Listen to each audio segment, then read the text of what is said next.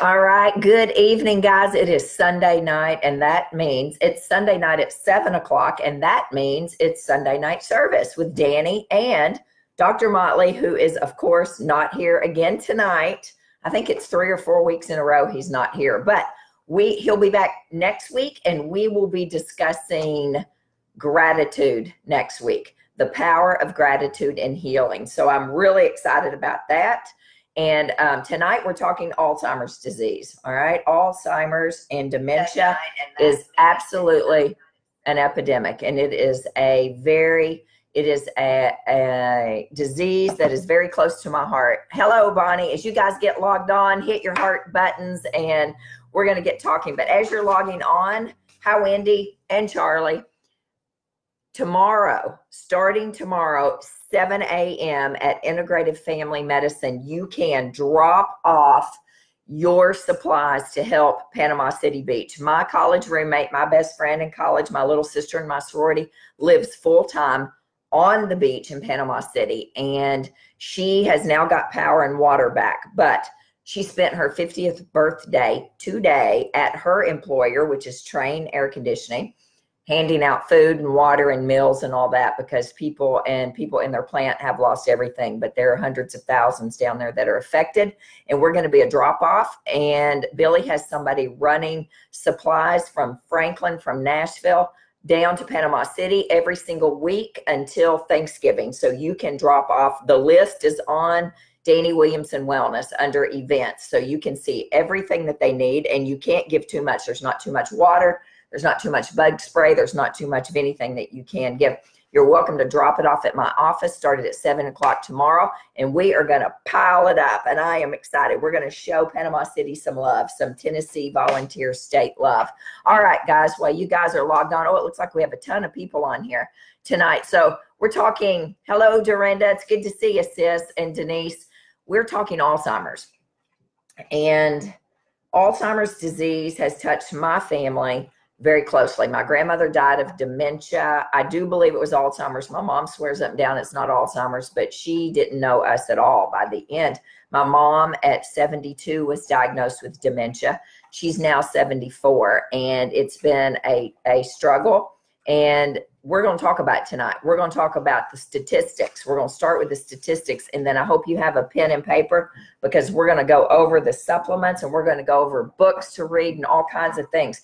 Because listen, friends, Alzheimer's disease is a disease of prevention. If you don't prevent it, it is a slow moving train once you're diagnosed, and it actually starts many times in our 40s or early 40s. My actual next door neighbor here was in her 40s when she was diagnosed with Alzheimer's, and she's now, I think she's 55, and she's on hospice and she's in a nursing home, and it's just so sad. And she has three daughters, and I moved here five years ago, and she was diagnosed probably the summer or so before that.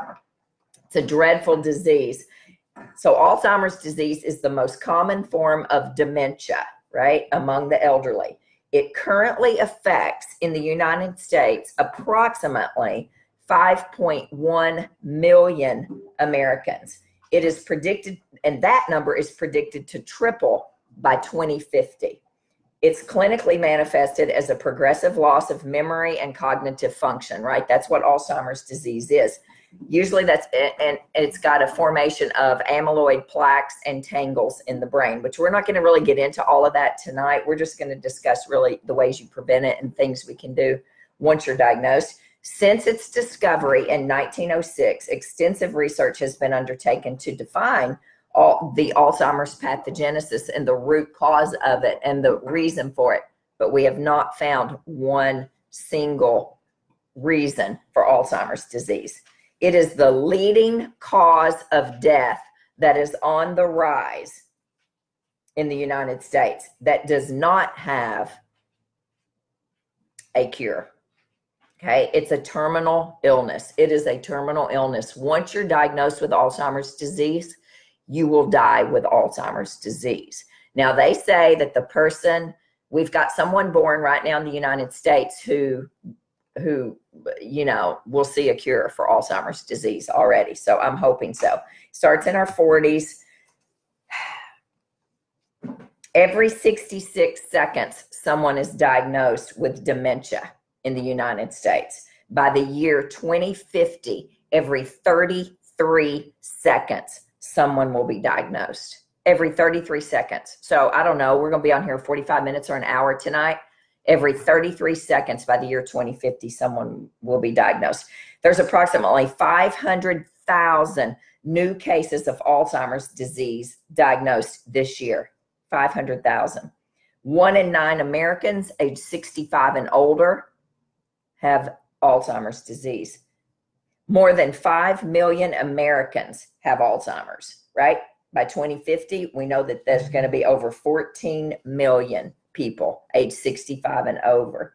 It's the sixth leading cause of death in the United States. Many people say it's the third leading cause, right? It kills more people yearly than prostate and breast cancer combined. Just know that. From the year 2000 to 2013, Alzheimer's disease death increased by 71%. Worldwide, 46.8 million people are believed to have Alzheimer's disease or other dementias. By 2030, which is very soon, by the way, this, what is that, 12 years? By 2030, we will increase that worldwide to 74.7 million people will have dementia. By 2050, it's estimated 160 million people will be diagnosed. Every 3.2 seconds right now in the world, someone is diagnosed with Alzheimer's disease every 3.2 seconds. So you're seeing the um, the massive, the the huge undertaking that this is, right? This is huge. Females, females have a greater lifetime risk of developing Alzheimer's disease, and they constitute two thirds of the current Alzheimer's disease population. We have a greater lifetime risk, and we are two thirds of the population. And who are the caregivers? Who are the caregivers in the United States and worldwide? It's females. It's females. The, the mechanisms underlying the gender bias in Alzheimer's remain poorly understood. And what that means is we really don't know why women have a higher rate of Alzheimer's disease. And again, prevention is key, right? Dr. Bredesen, who wrote this book right here. Yes, Tiffany, those stats are terrible. And there's way more, but we're not going to go through all these. This book right here, The End of Alzheimer's, rocked my world in 2017 when it came out. It is hands down the best book that I've ever read. It's very controversial because when you say you can help turn something around, again, um, those things are always controversial. Write this book down, take a picture of the screen here, screenshot it, do whatever you need to do. But this book right here has been a game changer for me. Okay. Whoops, I just dropped my water in the floor here. Um, the leading test for Alzheimer's disease, excuse me, I got to pick up my Fiji water. By the way, Fiji is one of the, the waters that has silica in it. And if you're going to drink bottled water, you want to drink Fiji water because silica helps with pulling mercury out of the brain.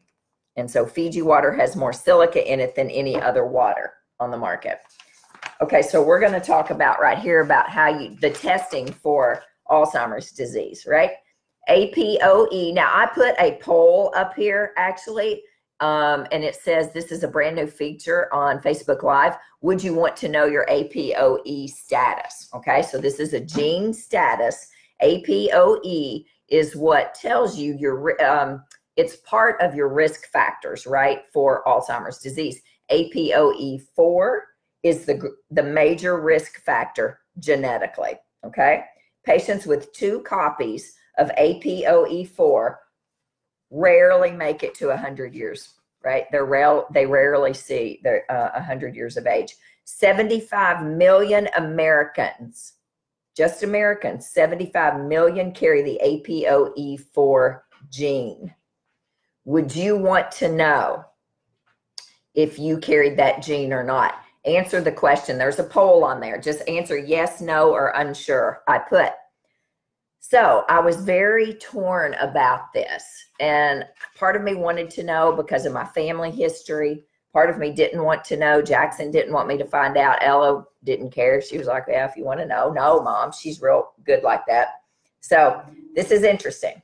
AP, I, I had my testing done. I used maximized or max max gen, formerly maximized genetics. I had my genetics testing done. I did the entire panel, which is $299, and that's way cheaper than just checking APOE. I checked a lot of genetics, which you all can see we've done a genetic um, Sunday night service. So, my genetic results for Alzheimer's disease I am an APOE 2 3. I have a very, I have a, a quite decreased chance of getting Alzheimer's disease. APOE2 is neuroprotective, they believe. APOE3 is what the majority of the of the world has is a 3. So I'm a 2 3. I do not have the 4 in there. That's good. Both I I would put money on the fact that my mom and my grandmother had have fours, but of course my grandmother can't be tested my mom probably wouldn't. So I am an APOE 2 3. Here's what we know about APO testing, APOE testing. APOE 3. So if you already know what your results are, here's some interesting information. APOE3 is present in approximately 75% of the population and is believed to play a neutral role, role, right? It doesn't increase your chances, it doesn't decrease your chances. It's just neutral right there. APOE2, which is what I have, is relatively rare with only a 5% incidence of the population, of course. I never have anything that everybody has. And it's considered to be a protective, a neuroprotected variant to the gene, to Alzheimer's disease. I'm sorry. By contrast, the most potent genetic risk factor for Alzheimer's, APOE4, exists in only about 20% of the population. Now, listen to this APOE4 is only in about 20% of the population. However, it is present in nearly 50% of all Alzheimer's patients.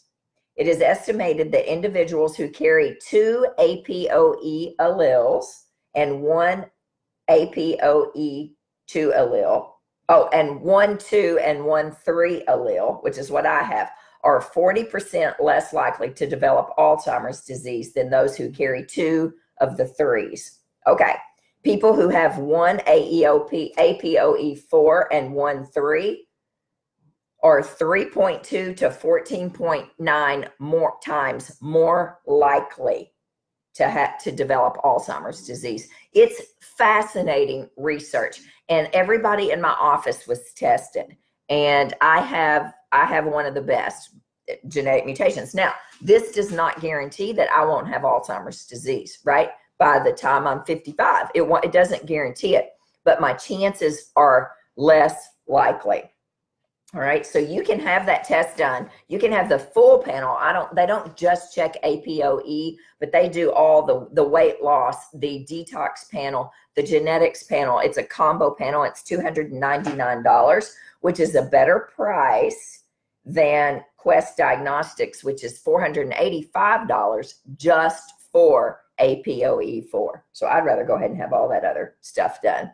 Okay. So there's a website for those of you who already know what your status is. There's a website called APOE4.info, and it is absolutely fantastic. That website is AEPO, AEPO aepoe4.info. And it's an excellent website on APOE. Okay. All right. So that being said, go ahead and answer your your poll there. Do you want would you want to be tested? Would you not want to be tested? Amen about genes. Only one part of it. You you jumped ahead here on what I was going to say, but I'll repeat it multiple times. Your genetics is the gun, right? your environment pulls the trigger. And we know that on every single condition, Brooke, your environment pulls the trigger, right? And that's what Dr. Bredesen says in his book, right? Inflammation, inflammation, inflammation. Number one. He also says suboptimal uh, levels of your, your basic nutrients. Number two, Number three, environmental toxins, heavy metals, aluminum, things like that, exposures. Those are key contributors, the top three contributors he believes to Alzheimer's nutrition, suboptimal levels of your nutrients, and then your toxic exposures, right? Diet, sleep, exercise. What do I tell you all? We have to eat well, sleep well, move well, poop well, decrease stress, and have community. Those things are key, all right? Inflammation, number one. We have got to decrease inflammation in the body. Do you know that the average American eats 150 to 160 pounds of white sugar a year? That equals about a half a pound a day, half a pound of sugar a day. I don't doubt it. I don't doubt it. Cocoa flavanols appear to work by improving your insulin sensitivity. Many of you know Alzheimer's disease has already been called type 3, type 3 diabetes, an insulin problem, a blood sugar problem, right? There was one study they studied they studied 520 milligrams per day of cocoa flavanols, and that's about 800 to 560 grams a day of dark chocolate. All right, so cocoa flavanols, something you can do to help as well decrease inflammation, improve insulin sensitivity ch- tart cherry juice, 200 milliliters a day for 12 weeks in this one study, improved cognition with dementia patients. Just a little bit. Okay. So here we're getting ready to talk about environmental factors. We're going to start with environmental factors. Alzheimer's disease is most prevalent in industrialized countries, right? As much as four times higher in industrialized countries in certain parts of the world. Perhaps, and it's hypothesized that perhaps environmental pollution plays a role in the pathogens, right? Many Alzheimer's patients have incre- have decreased ability to metabolize and get rid of toxins and to detox, particularly things like sulfur. So you've got environmental exposure plus a decreased ability to metabolize toxins, and that many times equals Alzheimer's disease or dementia. Aluminum. There's been multiple, multiple studies on aluminum that have shown that aluminum exposure can contribute, it can be a contributing factor to Alzheimer's disease. A high dietary intake of aluminum or increased aluminum in your drinking water has been shown to increase the risk of Alzheimer's disease in some studies, but this is controversial, so this is clearly not the end all be all. What are some foods that have a lot of aluminum in them? Alum, right? Pickles, processed cheeses, deodorants, yeah, cooking utensils, foods that contain sodium aluminum phosphate, Taco Bell's soft shell tacos have sodium aluminum phosphate in them. Kentucky Fried Chicken biscuits have sodium aluminum phosphate. McDonald's, the salt on the burgers has sodium aluminum phosphate in it. And the list goes on and on. Now, I don't know about you all, but I haven't eaten at Kentucky Fried Chicken, Taco Bell, or McDonald's in years. So I don't, I don't know about that. But I didn't know about the deodorant until not too many years ago, taking the aluminum out of the deodorant. So I use an all natural deodorant now. A diet, your diet, right? Okay, so I mentioned in case you all forgot or not forgot, but didn't um, log on or you just now joining, Fiji water has more silica in it than any other bottled water. And if you're going to drink bottled water, silica helps to remove aluminum from the brain. Of course, we would be talking about detoxing, detoxing, detoxing a couple of times a year, things to gently remove toxins from the body and the liver. A Mediterranean diet has been studied and been associated with a decreased risk of Alzheimer's disease. Now, all of you know that I am a huge fan of a Mediterranean diet. I mean, I've got so many cookbooks back here on the Mediterranean diet. That Mediterranean paleo cookbook right there is one of my favorites. I love a Mediterranean diet. It's the way the majority of the world eats, right? Lean fish, nuts, seeds, fruits, vegetables, good oils, good olive oils, avocado oils, a little bit of red wine. They're eating they're eating grains in a Mediterranean diet, but you know, very little, very limited grains. All of the fish and the vegetables and the uh, nuts and seeds and tiny bit of fruit, not a ton of fruit that you can eat. Mediterranean diet, Mediterranean diet, Mediterranean diet. Juicing. Now, this is really interesting. I found this interesting. There was a study that showed that those who drank fruit or vegetable juice at least three times a week had a 76% lower incidence of Alzheimer's disease than those who drank juices less than one time a week. Now, that was from the American Journal of Medicine in 2006. So, three green juices. This one is excellent. This one is called the Green Goddess, and it is kale, lime, spinach, cucumber. I can't remember what all's in it. It's all green. There is nothing other than green in here. You have to be real careful with juices. You drink a fruit juice, it is loaded with sugar. And we know that um, Alzheimer's disease is called type 3 diabetes. So you want to be real careful with your sugar intake, even if it's natural sugar. But a green juice three times a week. Now, I got this one at Whole Foods and I can't afford to do that. I mean, good Lord, this is $6. So that, although when you think about it, $18 a week, if you didn't go out and eat one meal, maybe, I, I don't know, if you, if you, um, juice at home, it's still very expensive if you use organic juice, right? I mean, organic vegetables and fruits. It's very expensive. But three times a week of a green juice, heck yeah. If it'll reduce, if it could help reduce my risk by 76%, good Lord, yes. Okay. Now is where we get into all the good stuff, right? There's some of the statistics, but we're going to talk about the nutritional supplements. And again, you cannot supplement yourself to good health, people. There's not enough of these supplements in the world to fix a bad diet. And you can't see, but I've got a truckload of supplements over here in front of me.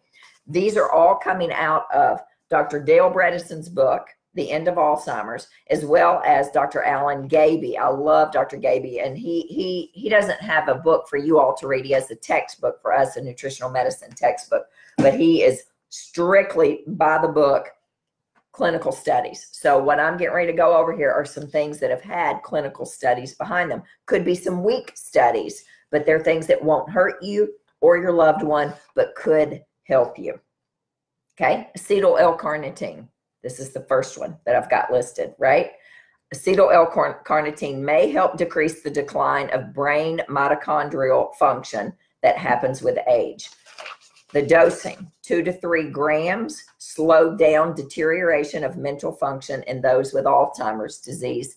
In a, there was a clinical, or there have been several clinical studies. Acetyl L-carnitine, two to three grams a day. B12, just straight up B12. I use this one.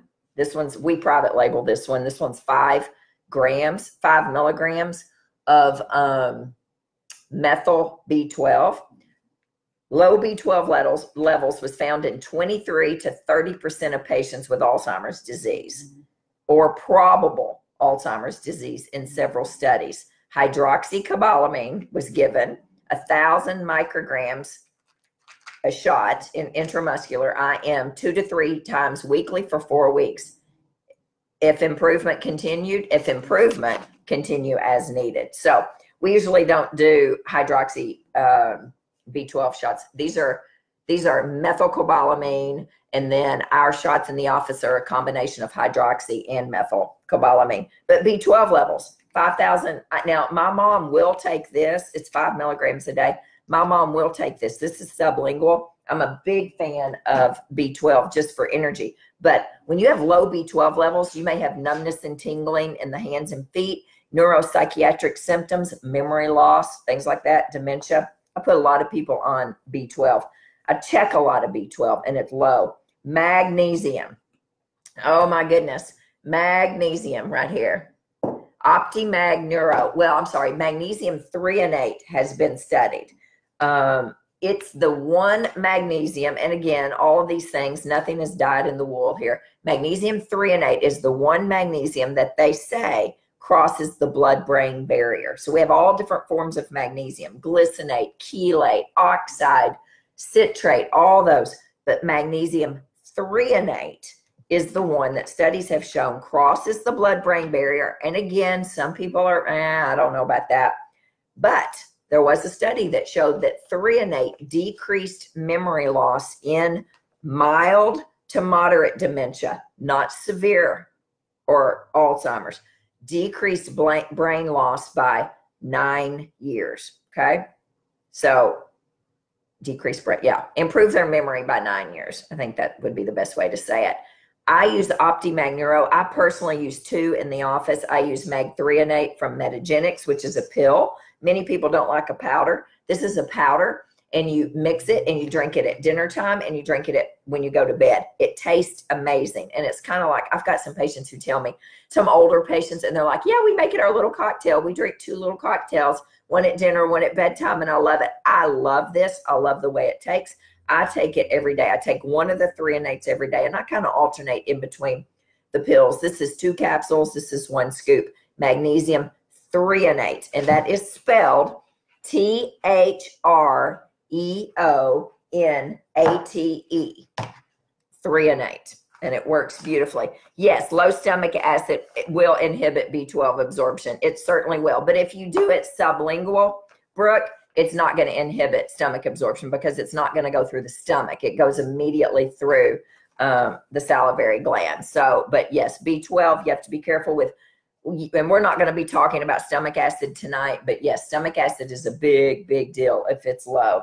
So we're talking acetyl L-carnitine, B12, magnesium threonate, inositol. There's been some clinical studies on inositol, and I love inositol. For those of you that know, I deal with a lot of um, uh, good lord, um, anxiety in the office, and I, and polycystic ovarian syndrome, and I use a ton of inositol. And what it does, inositol is involved in the neurotransmitter signaling sig- signaling in the brain, right? And the way the neurotransmitters bounce off of each other and the way they work and they send signals to each other. So, inositol, what they studied was six grams a day, six grams a day, which is one scoop of this, I think. Um, actually, it would be one and a half scoops of this, is what was studied. And this is a powder. You drink it, you mix it up. It works amazing for anxiety as well, as well as helping with insulin resistance in PCOS. I like inositol. Six grams a day in divided doses showed some improvement in memory loss. CoQ10, iron, and B6 in certain patients, not everybody, with a genetic mutation of the amyloid beta protein uh, precursor gene, those things seem to help. CoQ10, I think it was 100 milligrams a day, a little bit of iron and a little bit of B6 but I don't have a lot of research on that, so we're not going to talk about that one. Vitamin E. Vitamin E is a very inexpensive, I mean, $27 for two months worth, very inexpensive um, antioxidant, right? So it's a it's an antioxidant which helps mop up free radicals in the brain, which helps with um, oxid. I mean, it's it mops up oxidative stress, which is you know a path to Alzheimer's disease. Increasing vitamin E in the diet is associated with the decreased risk of Alzheimer's disease. And they used a thousand international units twice a day of mixed tocopherol. So you want to make sure that it's mixed, right? It's got your delta, your alpha, and your beta, and your gamma tocopherols in here. Always look at your vitamin E and make sure. For two years, using a thousand milligram, or I'm sorry, a thousand international units twice a day, for two years appeared to appeared to slow the progression of dementia.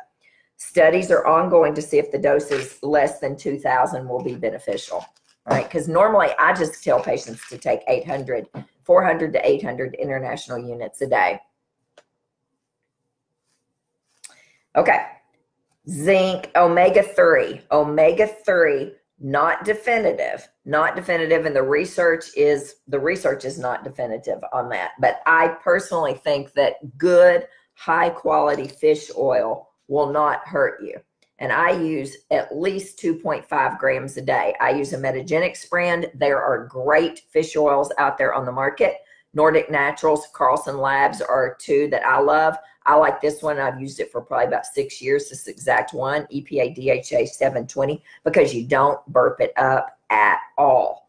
But the studies are controversial on this. They're not definitive that they're going to decrease memory loss. But what fish oil does is helps decrease inflammation in the body and inflammation in the brain. And so, in theory, one would think that it would help.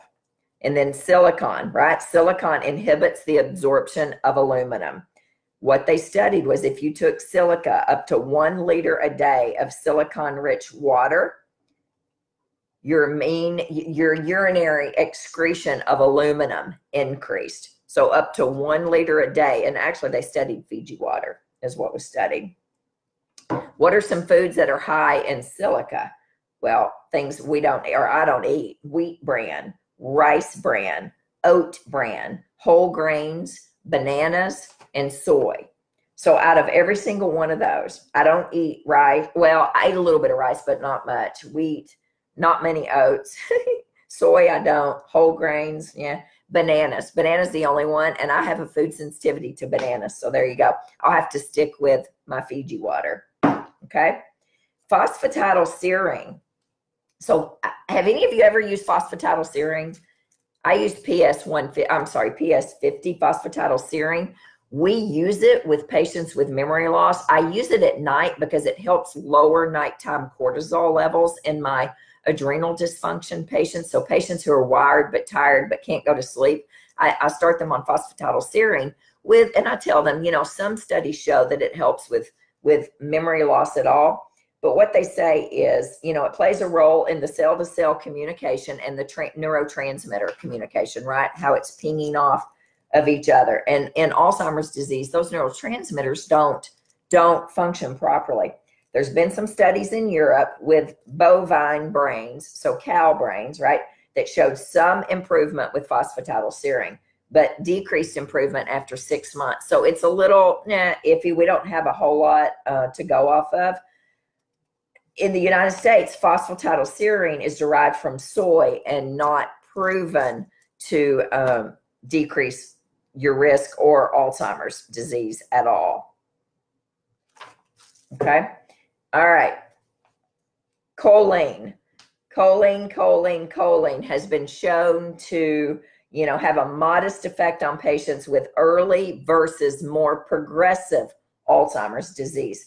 No dosing, though, has been suggested. So don't ask me because they don't have a dose out there yet. Again, prevention is key. So, what food has the most choline in it? Eggs. Eggs have a ton of choline. I don't know if they have the most choline, but they have a lot of choline in it. If you're not sensitive to eggs and you can eat good grass fed free range eggs, then eat eggs and get, get your choline that way. Ginkgo biloba. All right, this I have been taking for now. I'm on my second bottle of this, and there's a hundred capsules in each bottle. So I've um into my fourth month of this right now. Most, but not all, double-blinded trials have found that ginkgo is more effective than a placebo in patients with Alzheimer's disease. This is a very, very cheap $20, I think. Yeah, $20 for 100 pills. I like this ginkgo. It is good. It also has a little bit of eleutherococcus in it. And anybody who knows about eleuthero, eleuthero is an adrenal adaptogen. It helps with people who are under chronic long-term stress. It helps to bring up your your cortisol levels if you need it, or bring it down if you don't need it to. So this one is this one's my favorite. The price is right, and it's a clean, good ginkgo. The side effect of this the unexpected side effect was for me is it has excuse me decreased my hot flashes drastically i mean absolutely drastically decreased my hot flashes so i take this is 120 milligrams for one capsule and i'm only taking it once a day. Yeah once a day. So what they studied for ginkgo was 120 to 240 milligrams a day. So i could take it twice a day. I'm only taking it once a day. My hot flashes have gone down. I don't know if my memory's any better. I, I don't think my memory's bad, but I was just telling a doctor today, I was meeting with an emergency room doctor at the office this afternoon, and she wants to get into functional medicine. I'm so excited. She reached out to me, so I was helping her. And I told her, I said, you know, I don't know if it's helped with my memory or not. It's not hurting me. And so I'm going to take it. This, you know, ginkgo comes from the oldest tree known to man, over 2 million years old, the ginkgo tree. And the leaves of the ginkgo tree look like a brain. It's fascinating if you look up ginkgo leaves. Um, and they've got all these great um, veins in them that look like arteries too. It's fascinating. So ginkgo biloba, $20. Good gosh. Why wouldn't you do that for, for a 100 capsules? Helps with your hot flashes, helps with your memory, helps with heart health as well. Ginkgo does. Okay.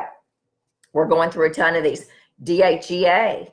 Now, I find this interesting. I can't take DHEA. It makes me mean, mean as a hornet. But DHEA, you know, is made in your adrenal glands and it converts over to testosterone in your body, right?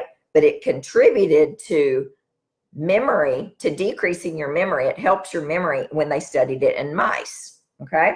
Some blood studies have shown that DHEA levels are low in patients with Alzheimer's disease. And we check DHEA, I check DHEA on most every patient. Um, my level, I remember when I had it checked was 87, which is pretty low normal, but I took it and I got so irritated. I'm testing a different one right now, a 7 keto DHEA, to see if that processes differently. But five milligrams a day of DHEA is what five to 15 milligrams, 10 to 20 for men. Most women I put on five to 10. You know, it's $18. There's four months worth in here. Why not? It's not gonna. Well, I'm. I can't say it's not gonna hurt you. It won't hurt you, but it could make you irritable. Could give you a little bit of acne. DHEA, easy, inexpensive way. It also helps with exercise recovery, right? It if it converts to testosterone, then of course it helps you feel better. It helps with muscle mass and sex drive. Melatonin. So, how many of you all take melatonin? I like melatonin. I don't have to take it because actually I've been sleeping much better the last several months, so I don't have to take melatonin. If my dog didn't snore every night, I would sleep really good. But melatonin has been shown to be low in Alzheimer's patients. Okay. There was a double blinded trial that showed that two milligrams of melatonin for 24 weeks increased cognitive performance and sleep efficacy significantly in patients with mild to moderate Alzheimer's disease and increased benefits with those who had insomnia. So they actually weren't giving it to, to patients just for insomnia. They were just seeing, you know, if it improved their memory, and it did. You know, when you can sleep, your body heals when you sleep. I'm a big believer in that. And so part of dementia and Alzheimer's is they don't sleep well at night. They're up constantly. And um, I love yeah, um, Denise, I use Xymogen's brand because it's $20 for three months worth. So I really do try to find things that are well priced. And I love Xymogen products. I love their products and they do a really great job and they're clean and they just, they have a really good uh, quality control program. So I use theirs. Theirs is actually, this one is five milligrams of melatonin let's see here. This is the sample.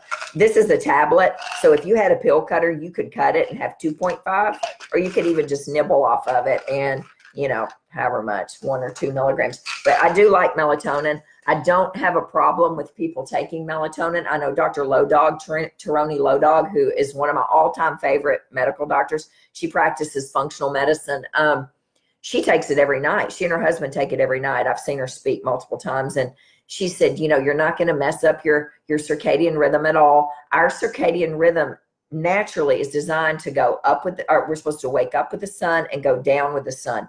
And look what we've done through through the lights up here, you know, the cell phones, the computers, the uh, wireless routers, everything. We have destroyed our circadian rhythm. So she takes it. Sometimes you could give yourself a little washout and come off of it for a few weeks or so and then go back on it. It's it's fine. I don't think it's going to hurt you. Now this is one of my favorites, and I took this for a long time. And I kind of does anybody is anybody like me? They'll take things and then they fall off of it or they run out of it and they forget to get it again. And good lord, I work in a supplement store, so um, I don't know why. Lithium, low dose lithium. Now I'm telling you, I love low dose lithium. So this is pretty fascinating. If you look up lithium in general, the towns and the cities that have lithium in their water supply have less murders, less homicides, less suicides, less violence in their cities. I think it was, it's probably been two or three years now. I can't remember. Two or three years ago, New York City, was it New York City? I think it was New York City. It's not Chicago. Chicago needs some lithium in their in their water supply. Um, I think New York City started putting lithium in their water supply. So lithium is neuro, it's shown to have neuroprotective, neuro brain, right? Neuroprotective effects um, have been demonstrated on, on the brain with using low dose lithium. There's been some randomized trials that showed improvements in patients with Alzheimer's disease at a very low dose of lithium, 300 micrograms a day for 15 months the lithium group showed no change in their decline. So they didn't they didn't decline after 15 months. They stayed the same, right? The control group showed a progressive decline, right? The ones who did not get any lithium whatsoever. I personally use 10 milligrams twice a day. No, five milligrams twice a day. What am I saying? Well, that's what I used to use. I don't, I'm not using it right now, but lithium orotate uh, my supervising physician is a psychiatrist, and he taught me about lithium years ago for patients just to help them feel better. And again, like things like Seven Up. I mean, you can read all about lithium. Lithium's pretty incredible. Seven Up used to have lithium in it. Um, the town where my aunt and uncle and my cousins all are in, in in Georgia, Lithia Springs. That's lithium. It was lithium springs. They had lithium in their water. So lithium, lithium works. 10 milligrams, five milligrams twice a day is what I recommend with patients. Selenium, selenium, selenium, selenium. I mean, selenium is such a great mineral, right? And we are so deficient in selenium as a rule. Selenium, actually, consumption of Brazil nuts. This was a randomized controlled trial that showed that was studying consumption of Brazil nuts, right? Showed significantly improved cognition function in, in the elderly with low serum levels of selenium. They had, it showed mild cognitive improvement, right? Any improvement is better than none. And it's about 200 micrograms a day is what's been studied, which is one little capsule of selenium. Four Brazil nuts a day. If you have organic Brazil nuts. Four Brazil nuts a day equals approximately 200 micrograms of selenium. But you don't want to eat more than that. You don't want to take more than 200 because you can get selenium toxic. So, you know, two to three to four Brazil nuts a day may give you some selenium. Selenium also, what else does it work with? All of you all are on here um, that know this thyroid, Hashimoto's. It helps convert T4 to T3. No, I'm sorry. Good Lord. It helps lower thyroid antibodies, Hashimoto's antibodies. But selenium is needed for good thyroid function as well. So I, I'm a big fan. Although, if you take a good multivitamin, it most likely is going to have 200 micrograms of selenium in it.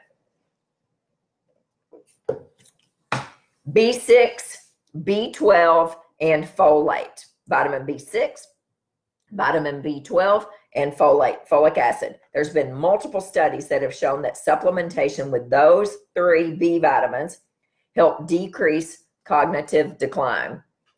This will help well. So, what's the what's the pathophysiology behind that, right? I'm not quite sure, but B6, B12 and methylfolate help lower homocysteine levels. Homocysteine is a cardiac inflammation marker. It's a big marker of inflammation, right? So that lowers those lower homocysteine levels. That's quite possibly the pathway that it works in.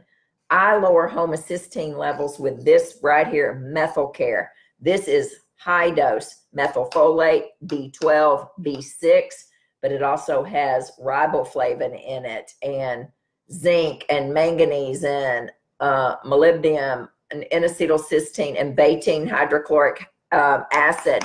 Uh, who was it who said that about betaine hydrochloric acid? I can't remember. But anyway, Brooke, I think um, this right here lowers homocysteine level better than anything that I have found. Plus, it gives you energy. Patients tell me that this methyl care gives them a tremendous amount of energy. I don't take this. My homocysteine level is great, but I do use the Neuro Cream. And those of you that use the Neuro Cream, um, you should hit your heart buttons because I'm telling you, this is fantastic for memory, for energy, for ADD, ADHD. I mean, it's, I love this. It's one pump twice a day. This is actually high dose, five milligrams of methylfolate, five milligrams of methyl B12, six milligrams of B6, and it has 1,200 international units in it of D3. It was originally formulated, and we private label it because we we sell so much of this. But this was originally formulated for patients with an MTHFR mutation who have a detoxification pathway blockage, and they generally have low B vitamins. This is this right here is a game changer for energy. I have patients just keep it in their purse, put one pump on in the morning, one pump in the early afternoon when they start to get a little slump or before they go home for work or from work, and it works beautifully. So that's been shown to help decrease um, cognitive decline. Alpha lipoic acid. So I get a lot of people tell me that they they think that alpha lipoic acid helps with their memory, but small. It there's just been some tiny studies, not some big randomized controlled trials on this, have shown some improvement, some improvement in cognitive decline. The main reason that it probably shows improvement in cognitive decline is does anybody know what alpha lipoic acid does? It helps decrease insulin resistance and insulin levels. And again, or um, Alzheimer's disease has been tagged type 3 diabetes. So anything that's going to help with insulin resistance quite possibly could help with memory loss as well. It helped with mild dementia, not moderate, not severe dementia and Alzheimer's disease. 600 milligrams a day is what's been studied. 600 milligrams a day. I use the one from Xymogen. I actually don't use this, but I have my daughter. Yeah, Brooke, um, Alpha, um, Xymogen is the one that I use. And here's the reason that I use this in the office because it's a controlled release, extended release alpha lipoic acid. Alpha lipoic acid is kind of like glutathione. It's very difficult to get into the cells. And so you have to take a tremendous amount of alpha lipoic acid for it to work, or you'd have to take it every few hours.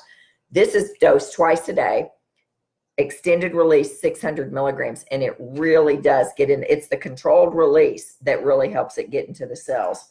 I like this alpha lipoic acid drug. Okay one of my favorites oh i hope i brought it yeah rhodiola rhodiola okay? We all know that rhodiola is an adaptogen. I teach on rhodiola all the stinking time for um, adrenal for adrenal for um, memory, right? Rhodiola has been studied for memory. It's been studied for cognitive decline. It's an anti uh, it's an antioxidant. It's also an anti anti-inflammatory, and it is neuroprotective as well as cardioprotective. So it protects the heart. Rhodiola is is I love ashwagandha, but I'm telling you, when I was really having some adrenal issues, rhodiola was my go-to. I, I can't take it at night because it keeps me up. It gives me too much energy. But excuse me, rhodiola has been studied.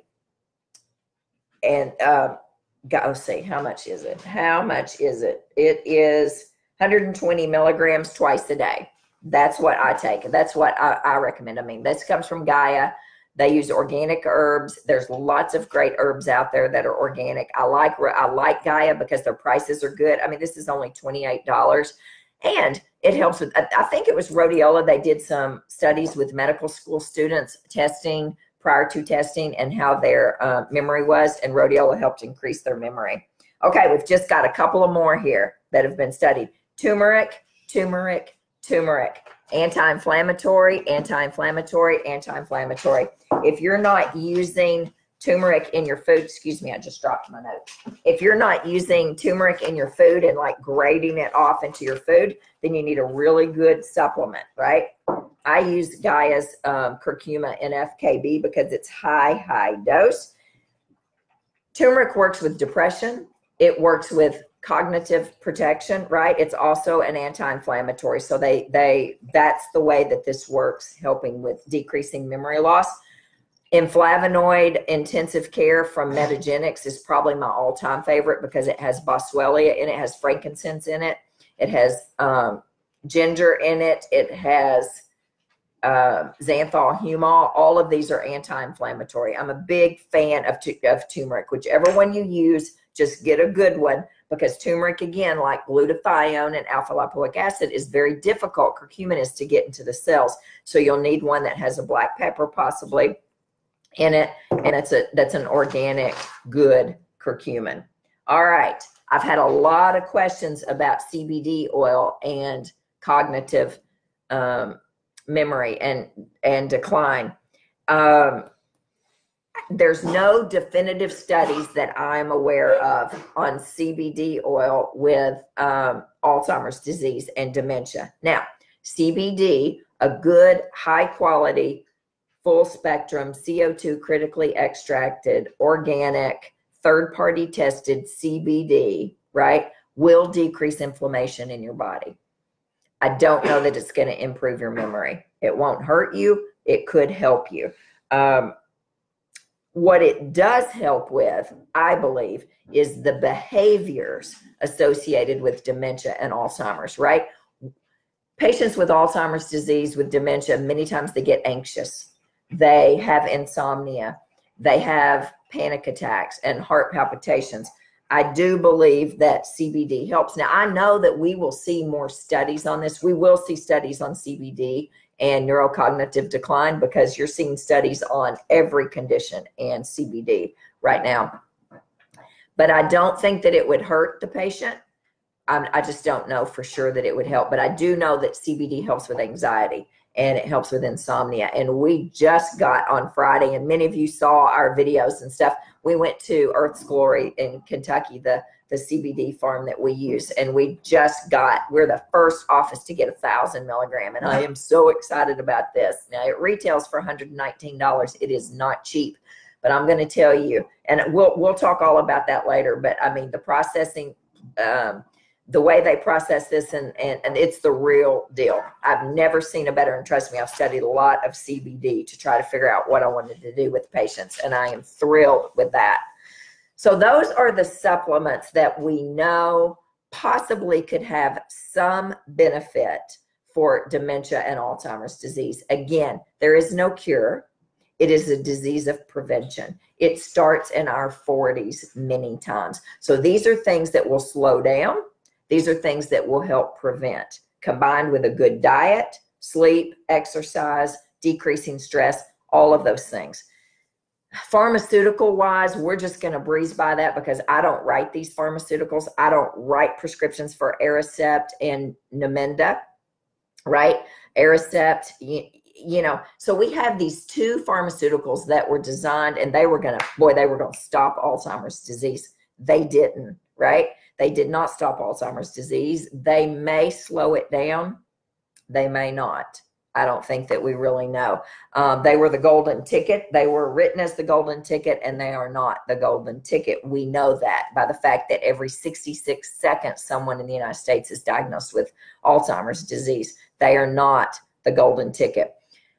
When Aricept and Namenda were developed, they were developed, and we still, they still, I think pharmaceutical companies still believe this that it's a single disease. Alzheimer's is. Alzheimer's disease is not a single disease. Dr. Bredesen and his team have identified at least 36 holes in the roof, is what he calls it 36 holes in the roof that contribute to Alzheimer's disease, right? Things like we talked about inflammation, poor diet, nutrient deficiencies, heavy metals, Lyme disease, all the things. 36 holes in the roof they've they've identified. It's not a single a single um, diagnose a single disease. No, Brooke, it hasn't helped my mom either. She's on Aricept and um, it hasn't helped her at all actually so eh, you know in theory Aricept is going to block um, you know your your cholinesterase right? Uh, what cholinesterase does is it destroys acetylcholine um, in your body and is that correct? Does does cholinesterase block acetylcholine? Good lord or stop. I, am having a brain um, fart over here.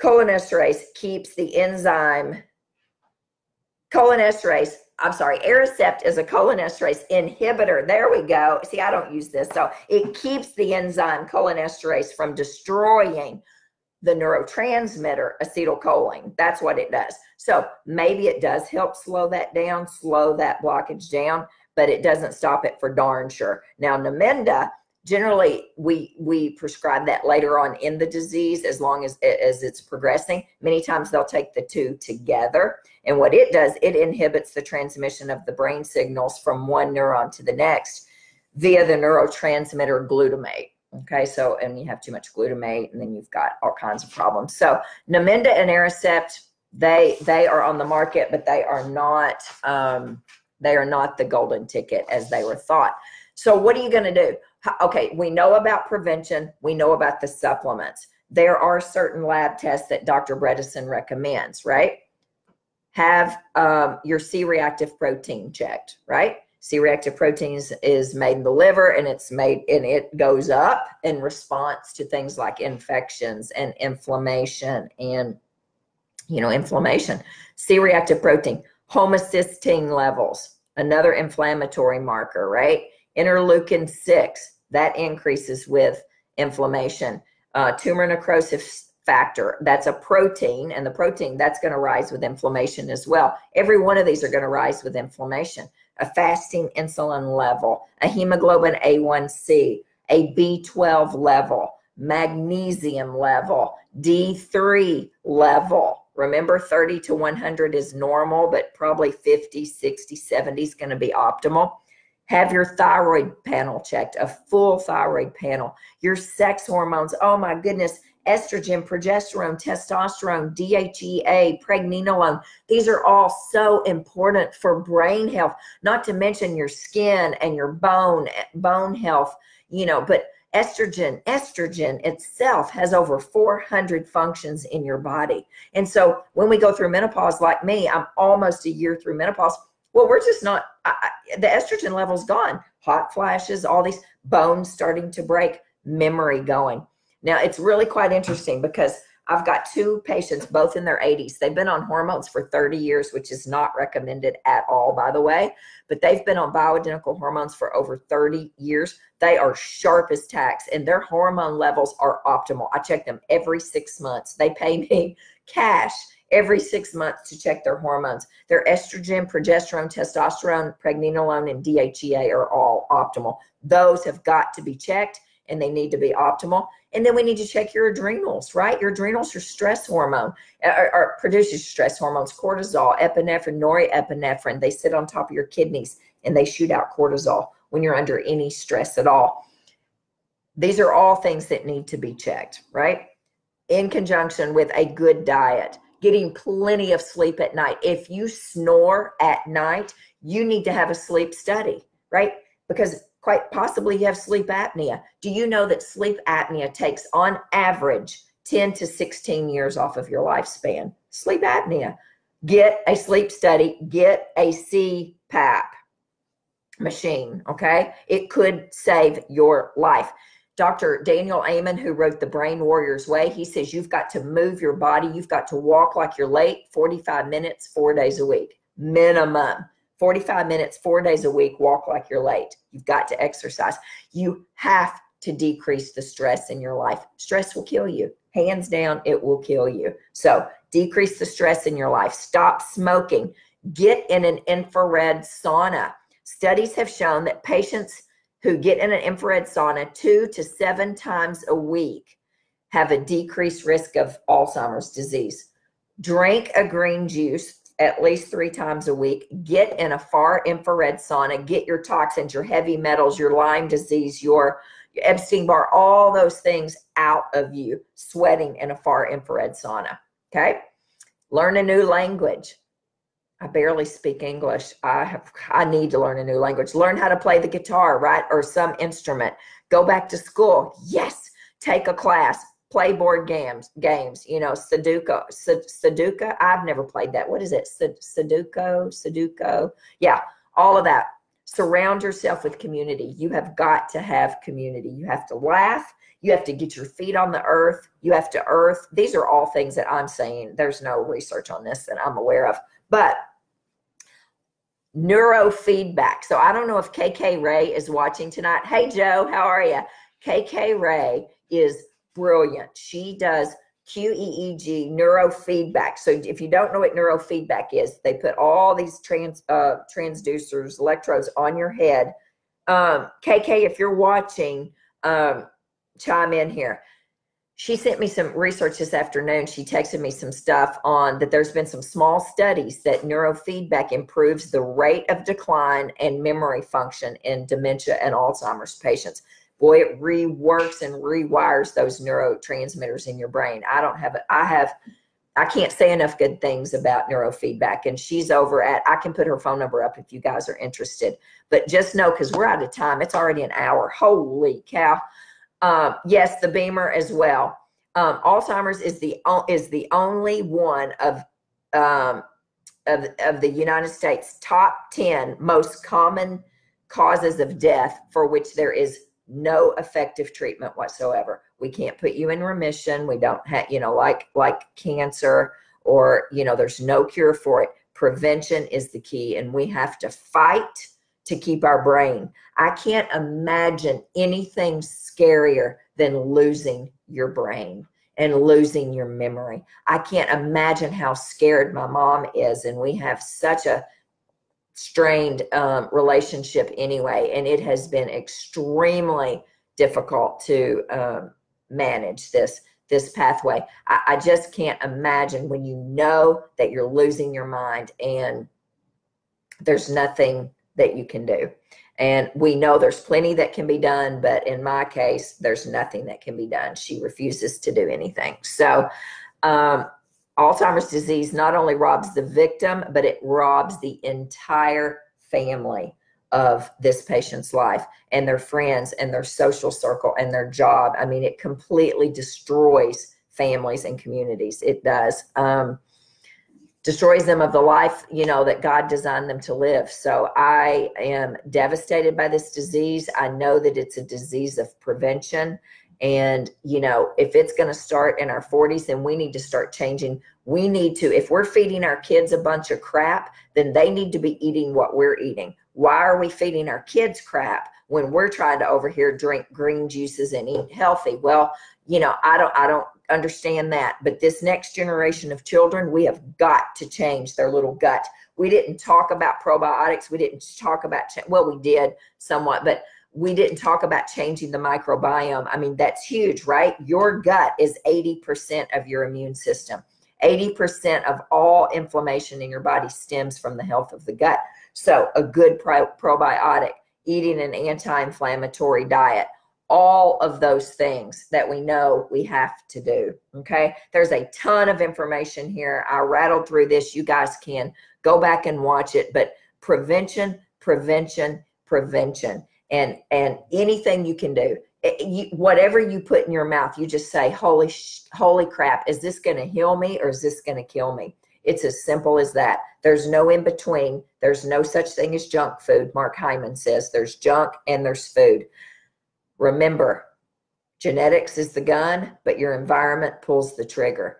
We don't have to pull the trigger and i am determined to stop this cycle in my family I don't know what my kids' genetic uh, makeup is for APOE, but I know that I, I've got a pretty decent one here and I am not going to turn it on. I, I refuse to do it. And I hope 30 years from now, I'm sitting here doing what I do. Um, maybe a little more high tech, not in front of a computer. But I love you guys, and I will answer these questions when this is over tonight. I will sit down and, and go over your questions and all. But um, this week at Integrative Family Medicine, Tomorrow, 7 a.m. starts our drive for Panama City Beach. Um, the very beginning of this, I talked about my best friend from college lives on the beach in Panama City. She was spared. I mean, she lost electricity and water, but her home is there. But her city is devastated and it is nothing but a state of destruction there. And her friends and her coworkers have lost their homes, have lost everything. We have a driver who's going to be driving every week from now until Thanksgiving week, and I'll be down there Thanksgiving week as well, um, taking supplies.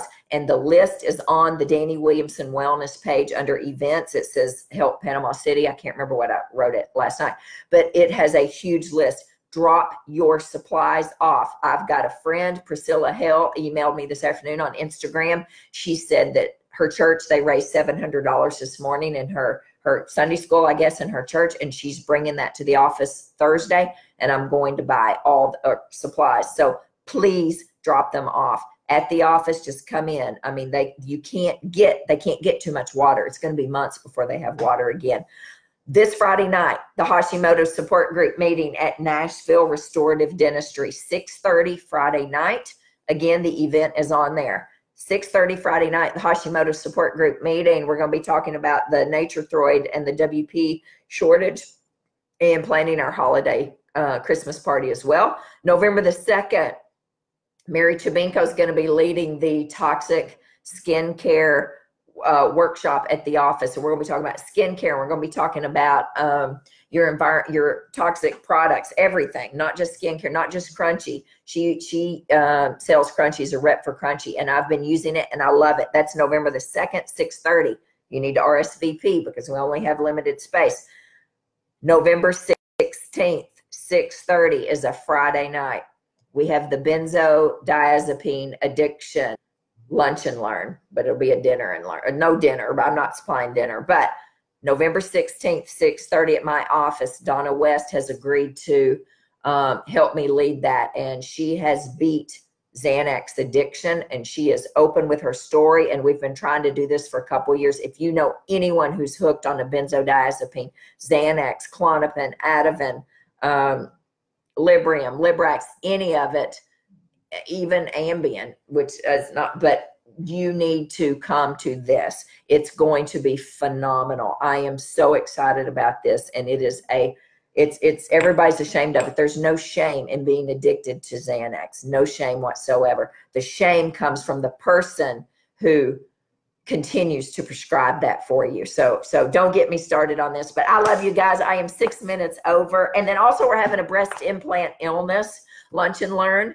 on um, patients with breast implants who have breast implant illness and we don't have the date set because we're trying i'm trying to get two people who are very active to to help me with that one and their schedules are not syncing up. Nobody's schedule syncing up. But anyway have a great weekend guys and i will answer your questions. I love you. Next sunday night dr motley will be sitting right here beside me because i am way better when he's sitting here and we're going to be discussing the power of gratitude in health and healing since we're getting into the holiday season. And he doesn't know we're discussing that. I probably should text him and tell him. I just decided this afternoon I wanted to talk about gratitude. So, anyway, guys, have a great week. Please come drop off anything supplies, gift cards to Walmart. They have a lot of Walmarts down in Panama City. So I know that those gift cards could go, but I think really even more so supplies. So we'll see you this week. I love you. Happy Sunday. Have a good week and take care of your brain. All right. Remember, this is the disease of prevention. Take care of your brain.